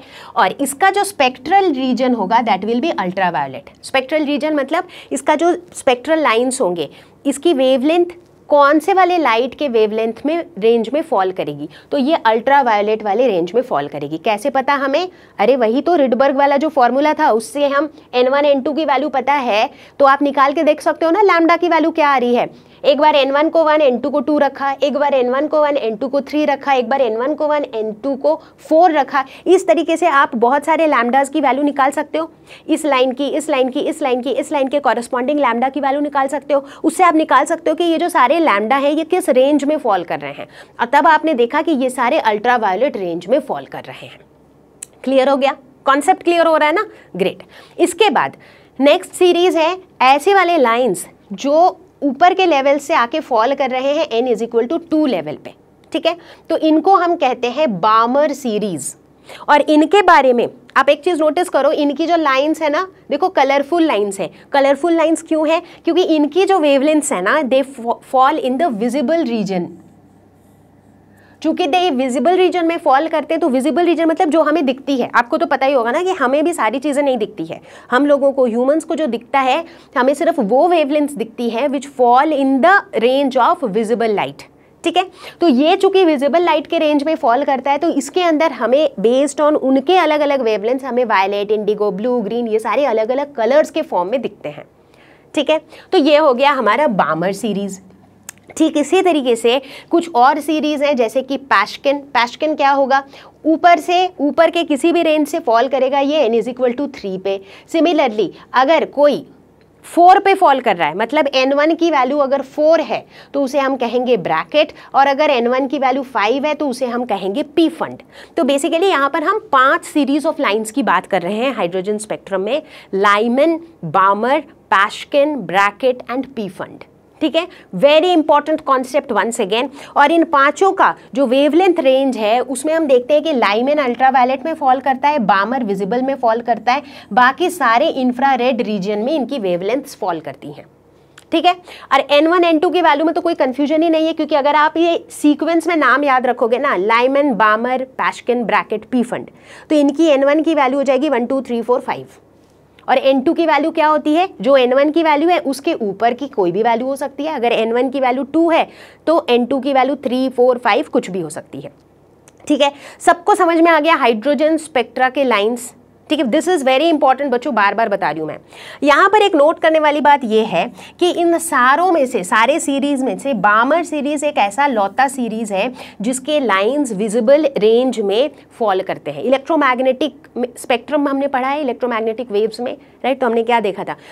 Infrared rays ultraviolet visible light X ray radio waves microwave सबकी अलग अलग वेवलेंथ की रेंज होती है राइट तो हमने नोटिस किया कि बामर सीरीज़ के जो रेडिएशन हैं, सिर्फ़ एक लौते वही रेडिएशन हैं जो विजिबल लाइट वाले रेंज में फॉल करते हैं। ठीक है? क्लियर है? अब देखो, इसी का एक दूसरा पिक्चर ऐसा है। ये पिक्चर बता रहा है कि रियलिटी में कैसा होता है। जैसे इस इस पिक्चर में तो थोड़ा सिंप्लीफाइड वर्जन था कि भाई इलेक्ट्रॉन्स जो हैं, वो ऐसे फॉल करते हैं। इस पिक्चर में थोड़ा रियलिस्टिक है, जो बीच का जो सेंटर है दैट इज़ द न्यूक्लियस और ये इलेक्ट्रॉन के सर्कुलर ऑर्बिट्स हैं। तो जब हम लाइमन सीरीज़ की बात कर रहे हैं तो देखो n is equal to two से वन में फॉल कर सकता है n is equal to three से वन में फॉल कर सकता है n is equal to four से वन में फॉल कर सकता है n is equal to five से वन में फॉल कर सकता है n is equal to six से वन में फॉल कर सकता है। तो एक्चुअली में कुछ इस तरह का पिक्चर जो है, वो आता है दिमाग में when we talk about the lines of the hydrogen spectrum तो चलो बच्चों, बात करते हैं बोहर्स मॉडल ऑफ़ एटम के पॉस्टुलेट्स के बारे में. तो अब चूँकि हमें हाइड्रोजन स्पेक्ट्रम का काफ़ी अच्छा आइडिया लग गया है so this will be easier to understand तो सबसे पहला पॉस्टुलेट बोर का ये था and these are very important once again कि हाइड्रोजन एटम का जो इलेक्ट्रॉन है that can move around the nucleus in a circular path of fixed radius and energy तो बोर ने बोला कि भाई न्यूक्लियस बीच में बैठा है इस तरीके से, और जो इलेक्ट्रॉन है, वो फिक्स्ड सर्कुलर ऑर्बिट्स में ही मूव कर सकता है, जिस दौरान इलेक्ट्रॉन का एक फिक्स्ड एनर्जी होगा। ठीक है? और इन सर्कुलर पाथ्स को उन्होंने नाम दिया ऑर्बिट्स ठीक है? या फिर स्टेशनरी स्टेट्स या फिर allowed energy states allowed energy states क्यों? क्योंकि बोहर ने ये भी बताया था, अभी हम डिस्कस करेंगे कि भाई एनर्जी भी क्वांटाइज है मतलब एनर्जी की वैल्यू कुछ भी नहीं हो सकती है, एक स्पेसिफिक वैल्यू ही पॉसिबल है। तो एक सर्कुलर ऑर्बिट जो है, उसमें इलेक्ट्रॉन की एक पर्टिकुलर एनर्जी ही पॉसिबल है। तो इसीलिए उस ऑर्बिट को हम अलाउड एनर्जी स्टेट भी बोल सकते हैं। ठीक है ना? So these orbits are arranged concentrically around the nucleus अगर हम देखें, देखो, ये न्यूक्लियस एक सेंटर है। इसी सेंटर के ऊपर बेस करके जो ऑर्बिट्स हैं, ये अलग अलग सर्कल्स हैं ऑफ़ डिफरेंट रेडियाई जैसे कि कॉन्सेंट्रिक सर्कल्स होते हैं। तो ठीक उसी तरह का अरेंजमेंट यहाँ पर भी होता है। ठीक है? बोर का दूसरा पॉस्टुलेट था। Energy of an electron in an orbit does not change with time एक ऑर्बिट में इलेक्ट्रॉन की जो एनर्जी है दैट इज़ फिक्स्ड फिक्स्ड मतलब फिक्स्ड वो टाइम के साथ साथ चेंज नहीं होती है।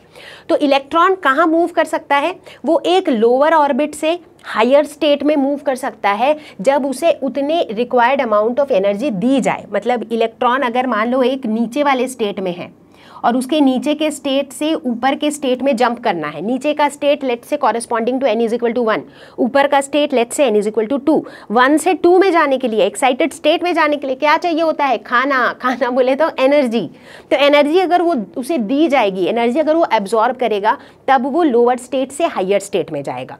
ठीक है? Okay okay? और जब वो हायर स्टेट से लोअर स्टेट में आएगा, अब एक्साइटेड स्टेट में चला गया बट वो स्टेबल नहीं है तो वापस नीचे वाले स्टेट में आएगा। तो हायर स्टेट से लोअर स्टेट में जब वो आएगा, तब वो एनर्जी एमिट करेगा। ठीक है? क्लियर है ये? एनर्जी एब्जॉर्ब करके ऊपर जाएगा और ऊपर से जब नीचे आएगा तो उस एनर्जी को वो एमिट करेगा। ठीक है? तो जो डेल्टा ई e की वैल्यू है दैट डेल्टा ई की value should be equal to R H one by n one square minus one by n two square. कहाँ से आया ये? रिडबर्ग फार्मूला से। याद है रिडबर्ग फार्मूला में भी हमने कुछ इस तरह की चीज़ें डिस्कस की थी कि भाई one by lambda is equal to R जहाँ पे R was Rydberg constant right तो ये आर एच क्या है? देखो, वहीं से आया है। कैसे आया है? बता रही हूँ। देखो, उस समय हमने क्या देखा था?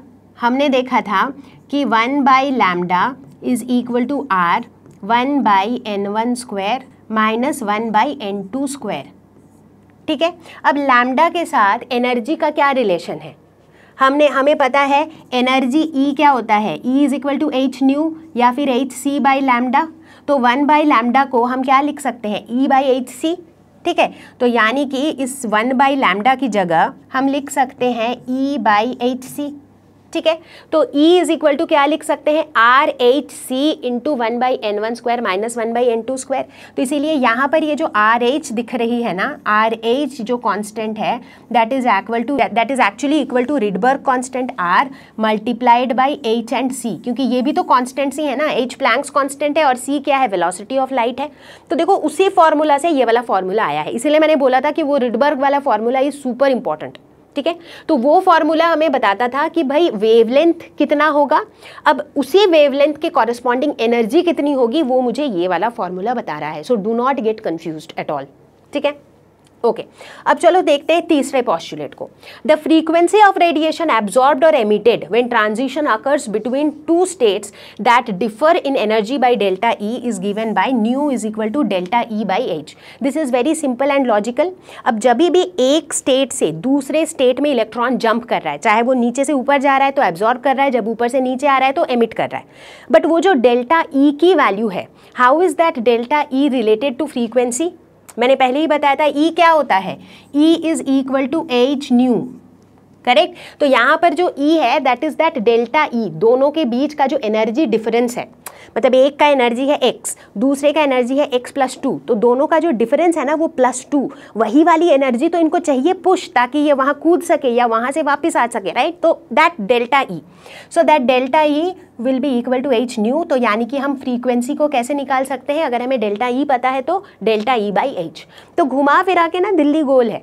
तो वही बेसिक एक चीज़ अगर आपको पता है, वहीं से आपके दस फॉर्मूले बन रहे हैं। अब बात करेंगे हम एंगुलर मोमेंटम की। Now this is again a very important concept Bohr model में ये बताया गया कि इलेक्ट्रॉन का जो एंगुलर मोमेंटम होगा, एक पर्टिकुलर स्टेशनरी स्टेट में, उसे हम कैसे बता सकते हैं? हमें ऐसे भी पता है एंगुलर मोमेंटम क्या होता है? L is equal to m v r यहाँ इलेक्ट्रॉन की बात हो रही है तो mass of electron into velocity of electron into radius of electron and this is equal to n h by two pi ऐसा बोर ने बोला। एमवीआर तो सबको पता ही था कि भाई वही होना चाहिए एंगुलर मोमेंटम लेकिन बोर ने बोला कि एंगुलर मोमेंटम चूँकि एनर्जी स्पेसिफिक वैल्यूज़ ले सकती हैं तो एंगुलर मोमेंटम कैसे ही कुछ भी वैल्यू लेगी? तो angular momentum is also integral multiple of h by two pi h by two pi एक कॉन्स्टेंट है, उसका इंटीग्रल मल्टीपल मतलब कुछ स्पेसिफिक ऑर्बिट्स ही पॉसिबल है end of the day right? right? तो इसका मतलब एंगुलर मोमेंटम की वैल्यू या तो one into h by two pi होगा, नहीं तो two into h by two pi होगा, नहीं तो three into h by two pi होगा। इनके बीच का कुछ नहीं हो सकता है, ठीक है? तो ये जो एन की, ये जो अलाउड वैल्यूज़ हैं, ये वैल्यूज़ पता है क्या है? These values are basically the principal quantum number ठीक है? तो एन की जो वैल्यूज़ हैं, वो एक्चुअली प्रिंसिपल क्वांटम नंबर ही है। इसीलिए देखो एन की जो वैल्यूज़ है ना, उसके कॉरस्पॉन्डिंग हमारी इलेक्ट्रॉन की एक एक ऑर्बिट है। ठीक है? तो यानी कि यहाँ पे क्या आ गया? क्वांटाइज्ड एनर्जी लेवल्स वो सीढ़ी वाली कहानी याद है ना? सीढ़ी भैया वन टू थ्री फोर ही हो सकती है। इनके बीच का सीढ़ी नहीं हो सकता है। तो सीढ़ी is very different from ramp ठीक है? तो इस पूरी कहानी से तो इस वाले पिक्चर में हमने पूरे बोर्स मॉडल ऑफ़ एटम को एक्सप्लेन कर दिया है। इसके बाद हम जो भी चीज़ें डिस्कस करेंगे they will be more of mathematical discussions ठीक है? But concept wise this is where the concept lies बात समझ में आई कि इलेक्ट्रॉन जो है वो सर्कुलर ऑर्बिट्स में मूव करते हैं। इलेक्ट्रॉन कैसे कूदाफांदी कर सकते हैं? एक स्टेट से दूसरे स्टेट में जाएँगे तो उन्हें एनर्जी अब्जॉर्ब करनी पड़ेगी। हायर स्टेट से नीचे के स्टेट में आएँगे तो वो एनर्जी एमिट करेंगे। कितनी एनर्जी अब्जॉर्ब या एमिट कर रहे हैं वो कैसे पता चलेगा? बताओ कैसे पता चलेगा? रिडबर्ग फॉर्मूले की हेल्प से राइट क्योंकि वो फॉर्मूला हमें बताता है कि जब इलेक्ट्रॉन ट्रांजिशन करता है, एक स्टेट से दूसरे स्टेट में तो कौन सी इनकी, इसकी कॉरेस्पॉन्डिंग फ्रीक्वेंसी या वेवलेंथ होती है? एक बार वेवलेंथ या फ्रीक्वेंसी पता चल गई तो एनर्जी हमें वैसे ही पता चल जाती है है ना? इसके अलावा इलेक्ट्रॉन का जो एंगुलर मोमेंटम है, वो भी क्वांटाइज है। M v r is equal to n h by two pi ठीक है? तो इतनी कहानी अभी तक हमने सीखी about Bohr's model of atom हालाँकि काफ़ी कहानी अभी बाकी है स्पेशली मैथमेटिक्स वाली कहानी। तो चलो बच्चों, अब निकालेंगे हम बोहर रेडियस बोहर रेडियस का एक्सप्रेशन निकालेंगे, ठीक है? तो जब हमने इलेक्ट्रॉन ऑर्बिट्स का कॉन्सेप्ट डिस्कस किया था, जब हम रदर का मॉडल डिस्कस कर रहे थे तो हमने आर के लिए एक एक्सप्रेशन निकाला था, जो कुछ इस तरीके का था। Z e square divided by four pi epsilon naught m v square याद है? अब ये कैसे निकाला था, दोबारा तो नहीं बताऊँगी। तो you go back and watch that section again ठीक है? ये हमने निकाला था। यहाँ से हम कह सकते हैं कि जो वी स्क्वायर है that will be equal to Z e square divided by four pi epsilon naught m ठीक है? ऐसा कह सकते हैं हम? बिल्कुल कह सकते हैं। अब चूँकि यहाँ पर बोहर का जो मॉडल है ना that was majorly for hydrogen अब हाइड्रोजन के लिए जेड की वैल्यू हो जाएगी वन ठीक है? तो हम v को क्या लिख सकते हैं? E square divided by four pi epsilon naught m इसका रूट ओवर यानी कि v को हम लिख सकते हैं e divided by root over four pi epsilon naught m ये हमारा फ़र्स्ट एक्सप्रेशन है। इसमें हमने क्या निकाला? वेलोसिटी ऑफ़ इलेक्ट्रॉन ठीक है? ओके अब जो है, हमने बोहर के स्पॉस्चुलेट में क्या पढ़ा? कि जो एंगुलर मोमेंटम होता है m v r that is equal to n h by two pi ठीक है? तो यहाँ से तो ये हमने कहाँ से सीखा था? ये हमने सीखा था बोर के पॉस्चुलेट से। तो यहाँ से भी हम v की वैल्यू निकाल सकते हैं which will be n h divided by two pi m r तो भाई, इन दोनों तरीके से हम वेलोसिटी ऑफ़ इलेक्ट्रॉन को लिख सकते हैं। यानी कि दोनों का राइट हैंड साइड हम इक्वेट भी कर सकते हैं, है ना?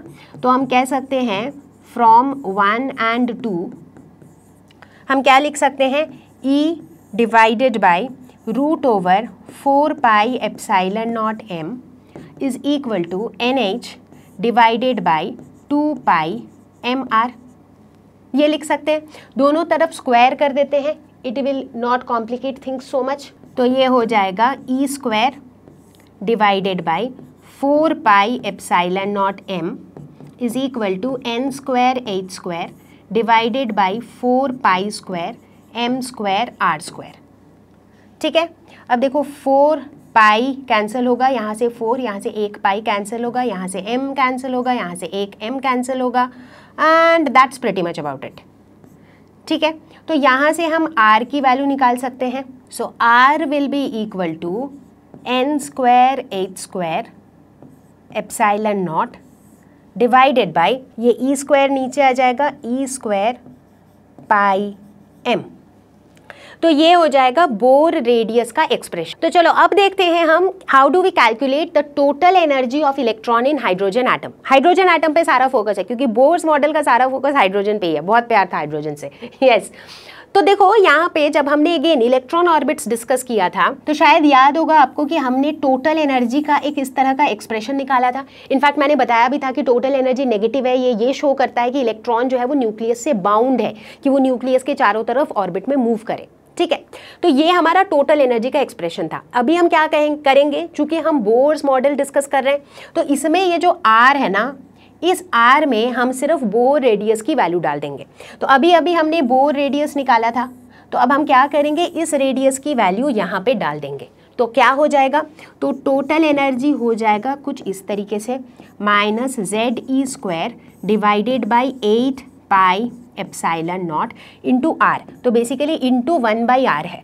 तो ये हो जाएगा pi m e square divided by n square h square epsilon naught मैंने उसको उलट दिया। क्यों उलट दिया? क्योंकि नीचे आर जो है वो डिनोमिनेटर पे है।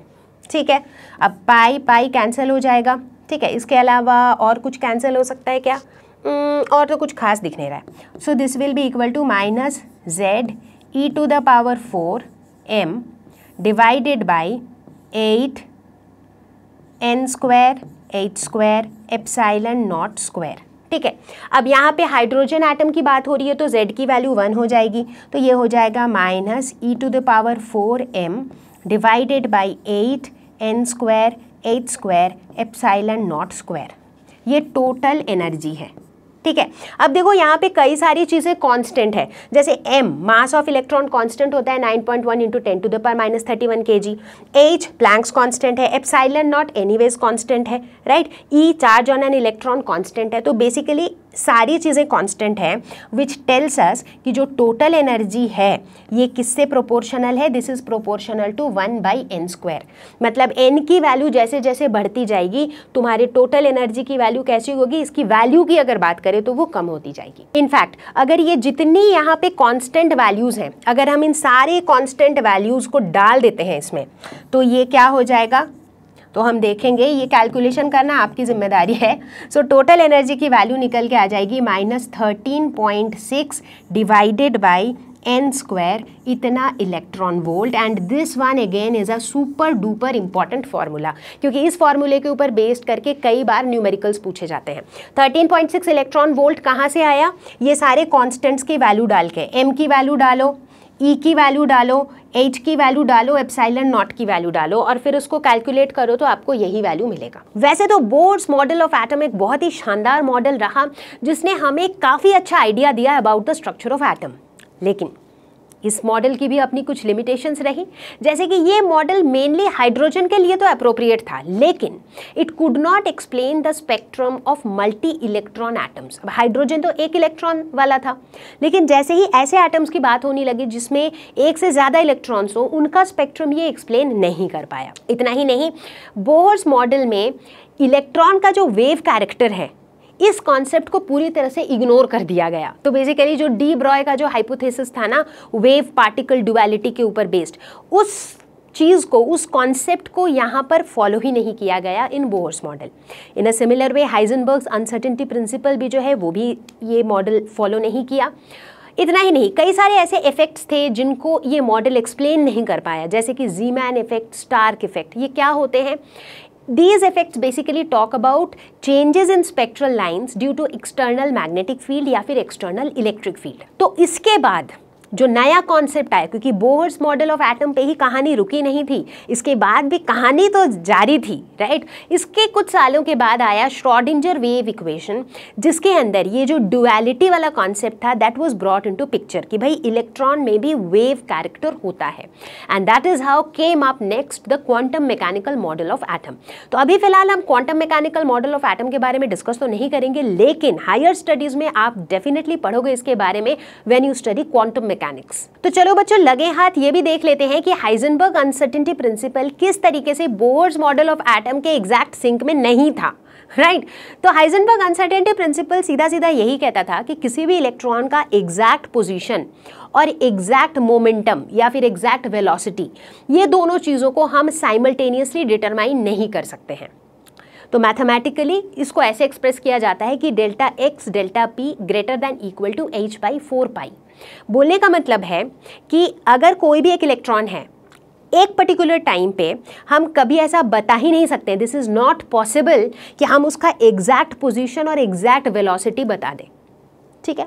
अब इस लॉजिक से सोचो कि बोहर्स मॉडल ऑफ़ एटम में बोर ने क्या बोला कि भाई इलेक्ट्रॉन ऐसे ऑर्बिट में मूव करेगा, इतने वेलोसिटी से मूव करेगा, इतना उसका रेडियस होगा।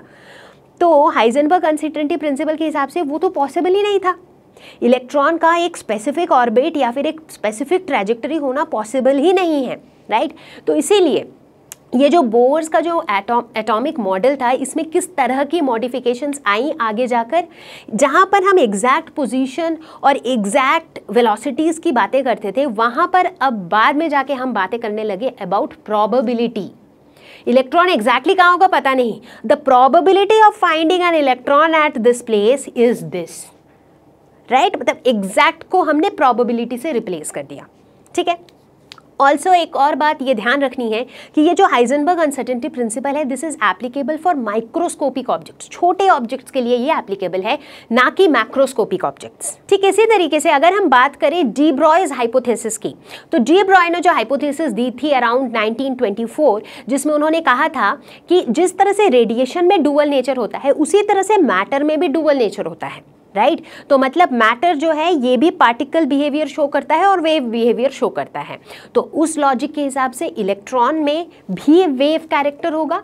जिस तरह इलेक्ट्रॉन में पार्टिकल कैरेक्टर है, इस तरह से इलेक्ट्रॉन में वेव कैरेक्टर भी होगा। और इलेक्ट्रॉन से एसोसिएटेड जो वेव है the wavelength of that wave is given by lambda is equal to H by M V ये कहता था डी ब्रॉय का हाइपोथेसिस ठीक है? अच्छा बहुत बढ़िया। लेकिन अब इस हाइपोथेसिस में भी ये ध्यान देने वाली बात है कि ये हाइपोथेसिस भी सिर्फ़ माइक्रोस्कोपिक पार्टिकल्स के लिए ट्रू है and not for bigger particles क्यों? क्योंकि देखो, इसके मैथमेटिकल एक्सप्रेशन पे फोकस करो। बड़े ऑब्जेक्ट्स का मास ज़्यादा होगा तो वेवलेंथ इतना छोटा होगा that it is like you know hardly seen लेकिन छोटे ऑब्जेक्ट्स का वेवलेंथ ज़्यादा होगा, इसीलिए उनका wave like character is seen right तो चलो, अब देखते हैं कि किस तरह से डी ब्रॉय हाइपोथेसिस ने बोहर्स मॉडल को एक्सप्लेन किया। तो चलो बच्चों, एक इंटरेस्टिंग कॉन्सेप्ट डिस्कस करते हैं। सोचने वाली बात यह है कि डी ब्रॉय ने किस तरीके से बोर्स पॉस्टुलेट को एक्सप्लेन किया, ठीक है? डी ब्रॉय ने बोला कि भाई, तुम जो ये बोल रहे हो ना कि इलेक्ट्रॉन सर्कुलर ऑर्बिट में मूव कर रहा है, कर रहा है बट वो किसकी तरह बिहेव कर रहा है, उसकी तो सोच थी वेव पार्टिकल डुअलिटी तो डी ब्रॉय ने बोला कि ये इलेक्ट्रॉन जो है, ये एक पार्टिकल वेव की तरह बिहेव कर रहा है। ठीक है? तो एक वेव है मतलब it is not one particle moving like this it is a wave जो ऐसे ऐसे ऐसे ऐसे करके मूव कर रहा है, ठीक है?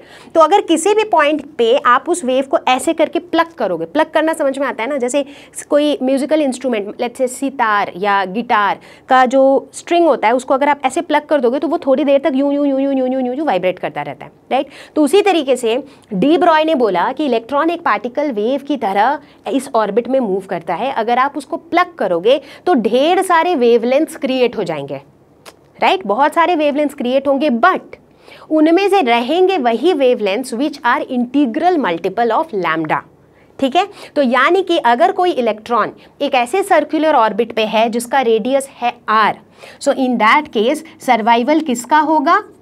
Two pi R should be equal to N lambda. ऐसा डी ब्रॉय ने बोला, क्योंकि भाई डी ब्रॉय तो डुअल नेचर वाले आदमी थे तो वो ये मानने के लिए रेडी नहीं थे कि इलेक्ट्रॉन बस एक लौता सिर्फ़ पार्टिकल है। उसने बोला, नहीं, वो पार्टिकल वेव है। तो उसको स्ट्रिप उसको प्लग करोगे तो वो ऐसे ऐसे ऐसे ऐसे मल्टीपल वेवलेंस बनाएगा बट सर्वाइव वही करेगा जो इंटीग्रल मल्टीपल ऑफ़ लैमडा है। ठीक है? क्लियर है? तो इस तरीके से अगर इसको भी मैथमेटिकली आप देखने की कोशिश करो तो ये क्या निकल के आ सकता है? डी ब्रॉय के कॉन्सेप्ट के हिसाब से लैम्डा क्या है? किसी भी मैटर वेव का जो वेवलेंथ लैम्डा होता है, वो क्या होता है? एच बाई एम वी तो चलो लैम्डा की जगह हमने एच बाई एम वी निकाल, लिख दिया। अब इसको हम क्या लिख सकते हैं? थोड़ा सा रीअरेंजमेंट और कुछ नहीं। इस एम वी को इधर लेके जाते हैं तो ये हो गया एम वी आर और इस टू पाई को इधर लेके आते हैं। तो ये हो गया N H by two pi. अब देखना ज़रा ध्यान से ये एक्सप्रेशन कहीं और देखा है क्या? बिल्कुल देखा है बोर्स के पॉस्टुलेट में।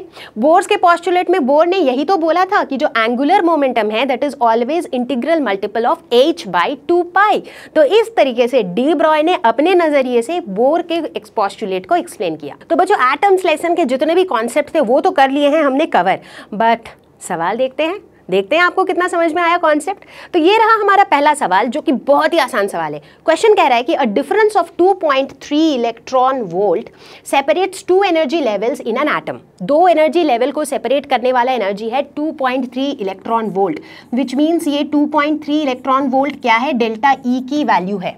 ठीक है? What is the frequency of radiation emitted when the atom makes a transition from upper level to lower level कहानी कैसी है कि जो एटम है वो ट्रांजिशन कहाँ से कहाँ बना रहा है? ऊपर से नीचे की लेवल पे वो आ रहा है। ठीक है? तो जब वो ऊपर से नीचे की लेवल पे आएगा तो एक डेल्टा ई इन्वॉल्व होगा होगा, बिल्कुल इन्वॉल्व होगा। और इस डेल्टा ई e की वैल्यू क्या हो जाएगी? एच न्यू जैसा कि हमें पता है। ठीक है? मुझे निकालना क्या है? फ्रीक्वेंसी यानी कि न्यू की वैल्यू निकालनी है which will be equal to delta E upon H अब यहाँ पे कई बार गड़बड़ बड़ी सिली मिस्टेक्स हो जाती हैं। डेल्टा ई e की वैल्यू बच्चे एकदम फटाफट जोश में आके 2.3 लिख देते हैं और एच जो कि प्लैंक्स कांस्टेंट है, इसकी वैल्यू फटाफट से लिख देते हैं 6.67 point six seven into ten to the power minus thirty four बाकी सब कुछ तो सही है बट आपका आंसर आ जाता है गलत। हालाँकि आपका कॉन्सेप्ट सही है। क्यों? क्योंकि ये जो डेल्टा ई e की वैल्यू है, ये इलेक्ट्रॉन वोल्ट में दी हुई है बच्चे, और इसे हमें कन्वर्ट करना है जूल्स में। और हमें क्या पता है one electron volt is equal to one point six into ten to the power minus nineteen joules तो ये हो जाएगा two point three into one point six into ten to the power minus nineteen joules तो यहाँ पे भी इसको multiply करना पड़ेगा one point six into ten to the power minus nineteen से। तो इसका आंसर आएगा zero point five five one seven into ten the power fifty 15 hertz. So, this is the frequency corresponding to delta E is equal to 2.3 electron volt तो चलो बच्चों, ऐसा ही एक आसान सा देखते हैं एक और सवाल। इससे आपको थोड़ा सा आइडिया लगने लगेगा कि किस तरह के न्यूमेरिकल्स बन सकते हैं। तो दूसरा सवाल कहता है the ground state energy of hydrogen atom is minus thirteen point six electron volt what are the kinetic and potential energies of the electron in this state ठीक है? यहाँ पे दिया हुआ क्या है? ग्राउंड स्टेट एनर्जी याद है मैंने बताया था एनर्जी हम कैसे निकालते हैं? बोहर्स मॉडल को याद करो एनर्जी हम कैसे निकालते हैं? एनर्जी निकालते हैं minus thirteen point six divided by N square electron volt यही तो एक्सप्रेशन था ना हमारा? बिल्कुल यही एक्सप्रेशन था। फ़िलहाल मैं बात कर रही हूँ ग्राउंड स्टेट की। तो जब हम ग्राउंड स्टेट की बात करेंगे तो इसका मतलब ग्राउंड स्टेट में एन की वैल्यू क्या हो जाएगी? वन तो ज़ाहिर सी बात है कि जो एनर्जी होगी ग्राउंड स्टेट में that will be equal to minus thirteen point six electron volt जो कि क्वेश्चन में ऑलरेडी दिया हुआ है। मैंने तो ये इसलिए बताया so that you get an idea कि ये कहाँ से आ रहा है। ठीक है? अब बताओ कि भाई काइनेटिक एनर्जी और पोटेंशियल एनर्जी कितनी होगी। ये जो एनर्जी है this energy is the total energy correct हमने क्या पढ़ा था? जब एनर्जी ऑर्बिट्स की बात करी थी इलेक्ट्रॉन ऑर्बिट्स की बात करी थी, हमने पढ़ा था कि काइनेटिक एनर्जी जो होता है that is negative of total energy which means kinetic energy will be minus of minus thirteen point six which is plus thirteen point six electron volt ये हो जाएगा मेरा काइनेटिक एनर्जी बहुत आसान था, कुछ कैलकुलेट ही नहीं करना पड़ा एक्चुअली और पोटेंशियल एनर्जी की अगर हम बात करें तो ये क्या होता है? जो टोटल एनर्जी है, उसमें से तुम सब्ट्रैक्ट कर दो काइनेटिक एनर्जी तो जो बचेगा वही तो होगा पोटेंशियल एनर्जी है ना? तो ये क्या हो जाएगा? माइनस थर्टीन पॉइंट सिक्स में से माइनस कर दो। थर्टीन पॉइंट सिक्स ठीक है? तो ये हो जाएगा minus twenty seven point two electron volt तो ये हो जाएगा मेरा पोटेंशियल एनर्जी तो देखो, कई बार जो न्यूमेरिकल्स होते हैं ना, वो बहुत भारी भरकम हाई फाई कैलकुलेशन वाले नहीं होते। हैं वो कैसे होते हैं? कॉन्सेप्ट बेस्ड छोटा सा एक कॉन्सेप्ट जो कहीं किस कोने में पढ़ा था बट अगर आप उसको मिस आउट कर गए तो आपका पूरा का पूरा न्यूमेरिकल क्या हो जाएगा?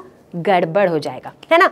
So this is how we calculate the kinetic and the potential energies for this particular hydrogen atom जिसका ग्राउंड स्टेट है minus thirteen point six electron volts तो बच्चा पार्टी, इसी के साथ हम आ पहुँचे हैं इस वीडियो के एंड तक और मुझे पूरी उम्मीद है कि एटम्स के इस वीडियो को पूरा देखने के बाद आपके कॉन्सेप्ट पक्का हुए होंगे क्रिस्टल क्लियर और अगर ऐसा हुआ है तो कमेंट्स में ज़रूर लिख के बताना कि कॉन्सेप्ट हुआ क्रिस्टल क्लियर मैं आपको जल्दी ही मिलती हूँ एक और धमाकेदार, ज़बरदस्त वीडियो के साथ.